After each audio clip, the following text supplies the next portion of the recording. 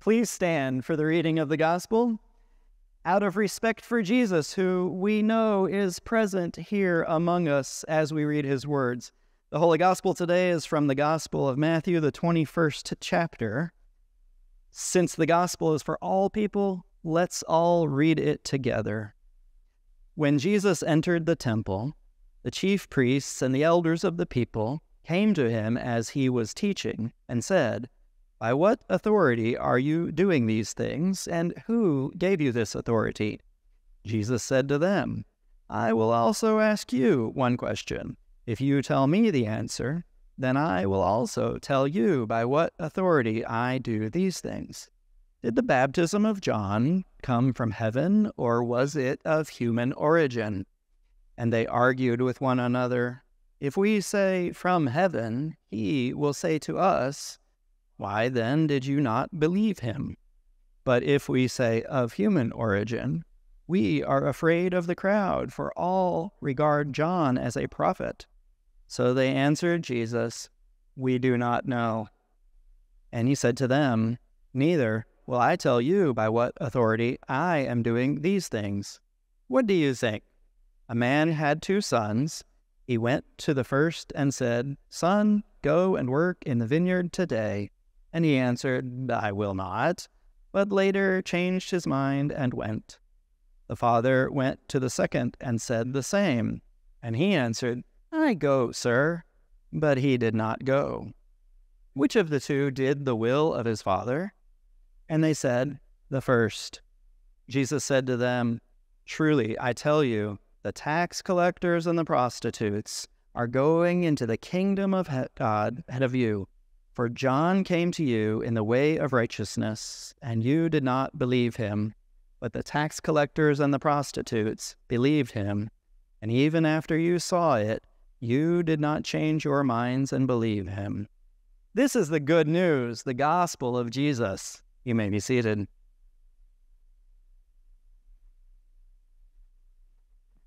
So Jesus is kind of on a tear. He doesn't mince words in today's reading. This reading comes right after we hear in Matthew's gospel that Jesus had rode into town to celebrate the Passover festival.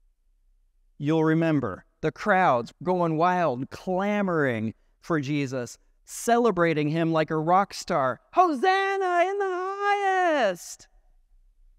And the chief priests, the elders, the church leaders, they didn't like it. Jesus' popularity and his teachings were rocking the foundations of their control. That's the context of today's reading.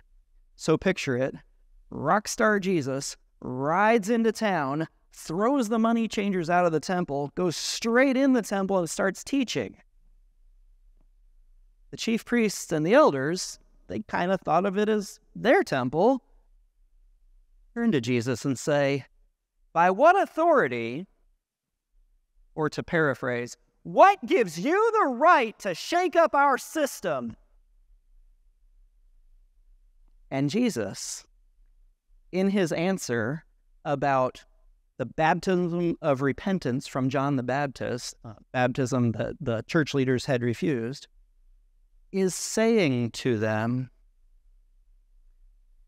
You think you know what God's about, but you've settled for a life of saying the right words and keeping up the appearance of being churchy instead of letting God have your whole heart so that God can break God's kingdom through to the world through you. And then Jesus says, even the prostitutes and the tax collectors have accepted this change of heart, this baptism of repentance from John. And they're getting into heaven before you because of it. They're getting closer to the kingdom of God because of it. It's as if Jesus is talking to the outsiders, the ones who didn't come into church because they would be shunned if they even stepped foot, the excluded and the outcast and the destitute. And he's saying, Hey, all y'all who feel like you've been blocked from the good that should flow from God's church, you have a place with me. You are welcomed and loved and invited. I can see your hearts, and they are ready for God's kingdom to break through.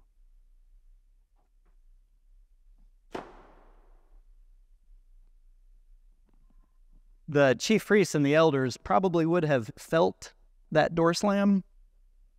Maybe some of us do too.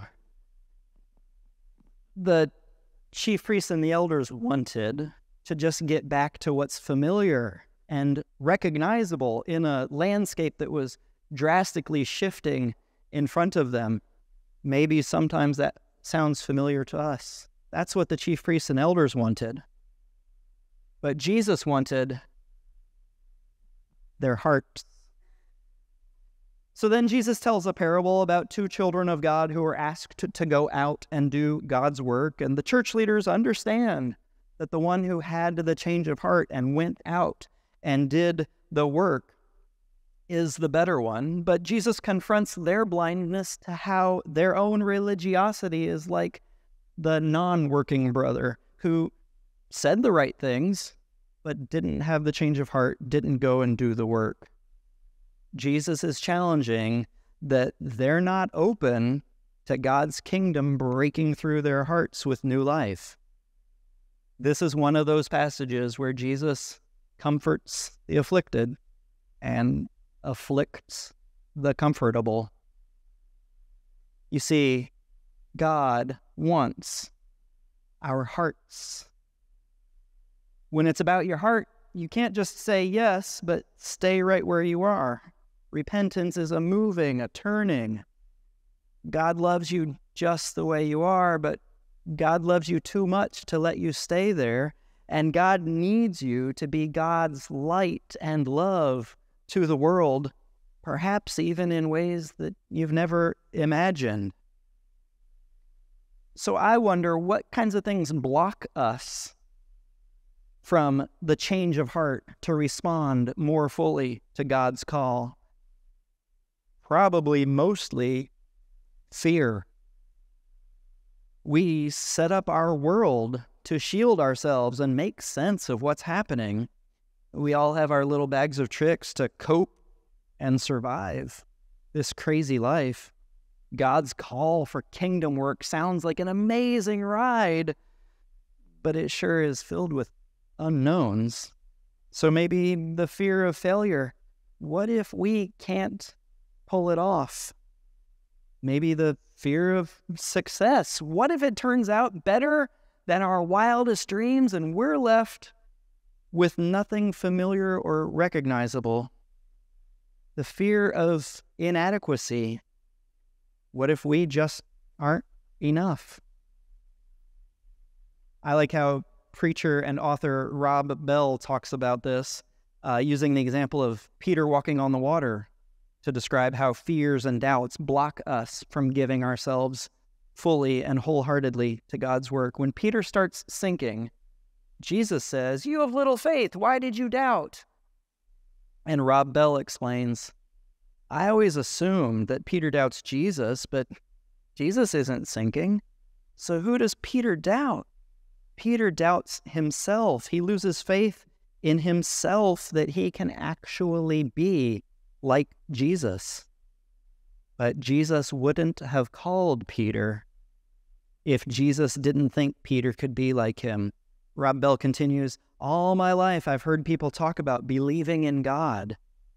But don't forget that God believes in us, in you, and in me.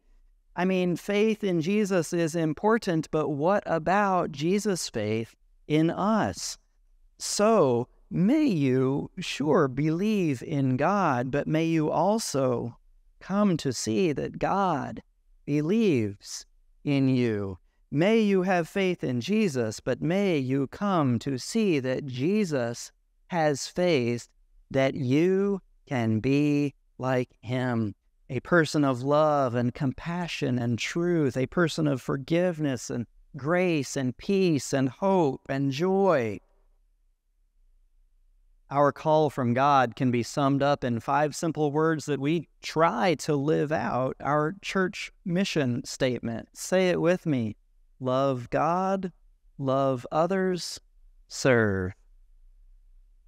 Just a little more context about today's scripture reading. It happened right after Jesus rode triumphantly into town for the Passover. Jesus knew where that holy week would lead to the torture of death on a cross. He knew that that Passover celebration would be like no other. Instead of shielding himself, Jesus faced his death with compassion. He gave us his complete gift of love, broken and poured out for us. In a few minutes, we'll gather at the table to again share that meal together. As we feast on this bread and this wine, this gift of Jesus' very self for us, our hearts are changed. We become more like Jesus. We will say yes and go out to love God, love others, serve. God's kingdom breaks through into our world. So, we're about to hear a song. I ask that you please just listen to what it says about opening your heart. It's about our hearts. Amen.